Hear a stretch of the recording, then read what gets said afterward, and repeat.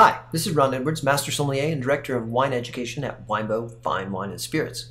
Today we're going to taste a wine from Washington State, specifically from the Columbia Valley. This particular wine is made from grapes completely grown in Red Mountain AVA. It is the Matthews Red Mountain Cabernet Sauvignon 2019. It's 97% Cabernet Sauvignon. Let's find out what we have.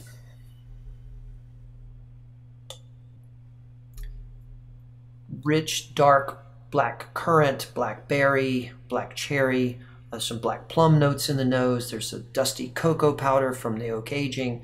There's a lift of, of uh, vanilla and cinnamon also from the oak. The wine smells really inviting and supple, if supple can be smelled.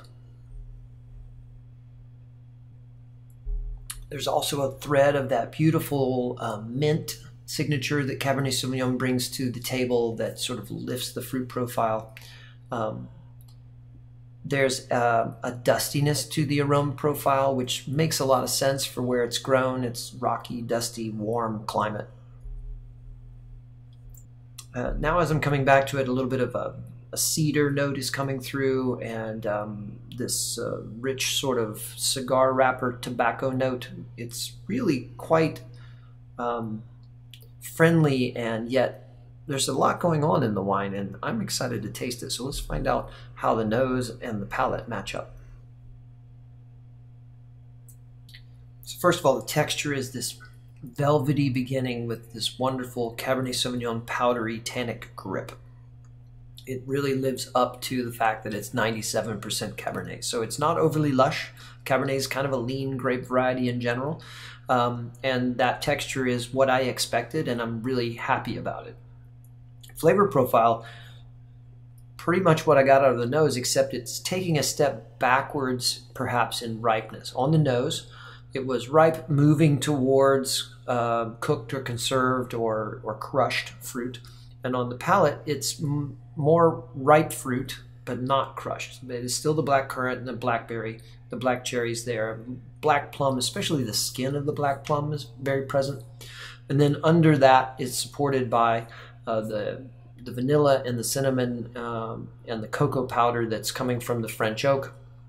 And then it has this beautiful, um, very typical Washington State signature of being both ripe and refreshing at the same time. There's a uh, tartar um, more mouth-watering section that sort of balances out the grip of the tannin and the warmth of the alcohol, and it is really um, fairly seamless in the finish. Let's see if the second sip holds up to the first.